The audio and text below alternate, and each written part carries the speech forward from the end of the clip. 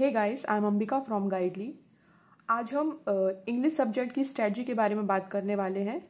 ये स्ट्रेटजी उन बच्चों के लिए भी है जिनका हिंदी मीडियम बैकग्राउंड था या जो इंग्लिश में वीक है और साथ में उन बच्चों के लिए भी है जिनका इंग्लिश जो है वो एक स्कोरिंग सब्जेक्ट है स्ट्रॉन्ग सब्जेक्ट है। Okay okay? हम इंग्लिश में तीन चीज़ों पे मेनली फोकस करने वाले हैं। एक हमारे सेक्शनल मॉक पे सेकेंड रीडिंग पे और थर्ड है रूल्स या ग्रामर पे।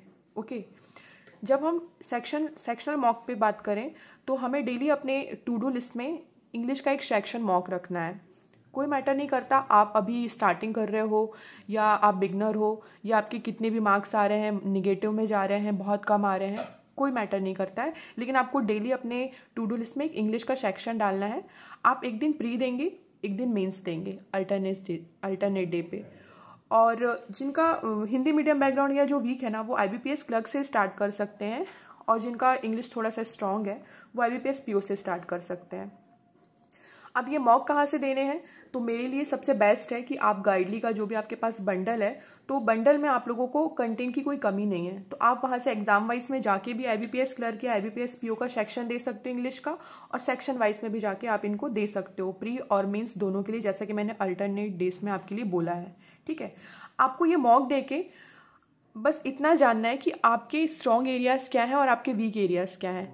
ताकि हम जब रियल एग्ज़ाम में जाए ना तो हम अपने स्ट्रॉन्ग एरियाज़ को सबसे पहले परफॉर्म करें, जहाँ पे हम स्कोर कर पाते हैं। और लास्ट में हम अपने वीक एरियाज़ पे काम करें, जहाँ पे हमें थोड़ा सा कॉन्फिडेंस कम होता है या जिसमें हम थोड़ा वीक होते हैं, ठीक है? अब एग्ज़ाम्पल करूँ, मैं अपनी तो मैं खुद हिंदी मीडियम बैकग्राउंड से थी। तो मेरा इंग्लिश तो वैसे भी थोड़ा सा वीक था। जब मैंने अपने ये सेक्शनल मॉक स्टार्ट किए थे तो मेरे भी मार्क्स कभी माइनस में, कभी बहुत कम आते थे। लेकिन जब मैंने धीरे धीरे मॉक दिया, तब मैंने जाना कि मेरा रीडिंग का पोर्शन अच्छा है। तो मैं आरसी में अच्छा स्कोर कर सकती हूँ। ऐसे ही आरसी के साथ साथ match the column rearrangement fillers ये सारे के सारे मेरे स्ट्रॉन्ग टॉपिक थे। तो ऐसे आपको भी डेली ये सेक्शनल मॉक देके ना अपने स्ट्रॉन्ग टॉपिक पहचानने कि आप किन टॉपिक्स पे अच्छा स्कोर कर ले तो किन पे आपकी पकड़ है। जब मैंने मॉक दिया तो मैंने जाना कि पैराजम्बल मेरा बहुत ही वीक टॉपिक है, क्योंकि इसमें कभी भी कॉन्फिडेंस नहीं आता है कि हाँ हम हंड्रेड परसेंट एक्यूरेसी में है या नहीं है। तो ये मेरा थोड़ा वीक एरिया था। तो मैंने इसे थोड़ा लास्ट के लिए रखा कि जब भी मैं रियल एग्ज़ाम में जाती थी तो मैं इन्हें कभी लास्ट में ही परफॉर्म करती थी। तो आपको ऐसे ही अपने स्ट्रॉन्ग एरिया और अपने वीक एरियाज़ पहचानने हैं, ठीक है? और जब भी आप ये सेक्शनल दो एनालिसिस पे फुल फोकस करना, ताकि आज जो आपने गलतियाँ करी है ना, वो दूसरे दिन मॉक में कभी ना दोहराओ। Okay okay? और वैसे भी एज अ स्प्रिंट हमें डेली अपनी गलतियों से सीखना है, ताकि हम गलतियाँ करें। गलतियाँ करना बहुत अच्छी बात होती है, लेकिन दोबारा उन गलतियों को फिर से रिपीट ना करें। हमें हमेशा अपनी गलतियों को सुधारना है। तो इसलिए हमें एनालिसिस पे फुल फोकस करना है, ताकि आज जो गलतियाँ हुई वह कल के मौके पे ना हो। सेकेंड हमें रीडिंग पे फोकस करना है। रीडिंग में हमको आपका जो भी मन करता है वैसे तो सारे लोग एडिटोरियल कहते हैं बट शुरू में एडिटोरियल हर किसी के के इंटरेस्ट का पार्ट नहीं होता है।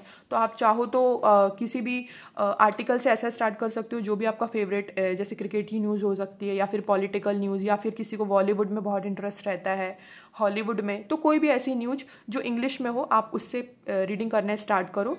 डेली आपको एक आर्टिकल पढ़ना है। सबसे पहले आपको उसका स्किमिंग करना है। स्किमिंग लाइक सरसरी निगाहों से देख के आपको सारे टफ वर्ड्स अपनी कॉपी पे नोट डाउन करने हैं। आपको अपनी एक पतली सी कॉपी बनाना है वो कैब की, जिसमें आप डेली अपने जो भी आप आर्टिकल पढ़ोगे ना, आपको उसका मीनिंग लिखना है वहाँ पे।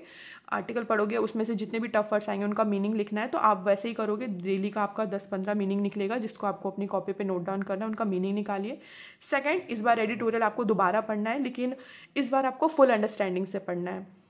जो भी आपका आर्टिकल या एडिटोरियल है आपको पूरा अंडरस्टैंडिंग के साथ पढ़ना है, क्योंकि इस बार आपको टफ वर्ड्स का मीनिंग पता चल चुका है। तो एक एक लाइन को आपको समझ के पढ़ना है।